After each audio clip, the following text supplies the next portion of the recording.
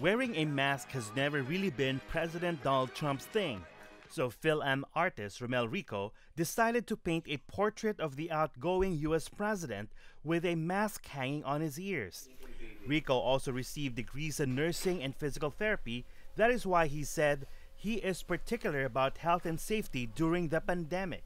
Medyo nakulangan ako dun sa information na dapat ginagawa ng ng government or whatever. And unfortunately, uh, yung mga ibang leaders natin, for example si Trump, didn't really um, prioritize yung prevention and control.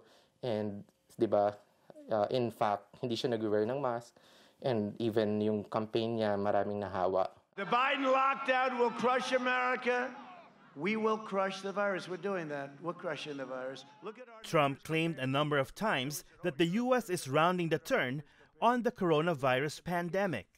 But scientific facts have said otherwise. The Johns Hopkins COVID 19 dashboard shows that the U.S. has reached a total of 10.2 million infections, nearly 240,000 deaths, and more than 100,000 people testing positive daily since after the U.S. presidential election day. Trump even said that after the election, the US media will miraculously stop talking about the virus, suggesting that the US media dishonestly hyped the pandemic just to keep him from winning re election. But COVID 19 continues to make headlines, especially since the US FDA's announcement on Monday that granted the emergency use of an experimental antibody treatment for the deadly virus. Clinical trial data show that a one-time infusion of bamlanivimab reduced the need for hospitalization or emergency room visits in high-risk COVID-19 patients. Rico said, with the absence of a vaccine, wearing a mask is still the best way to prevent infection. It's so very simple. If you just wear a mask, hindi mo mahawa yung iba, hindi ka mahawa ng iba.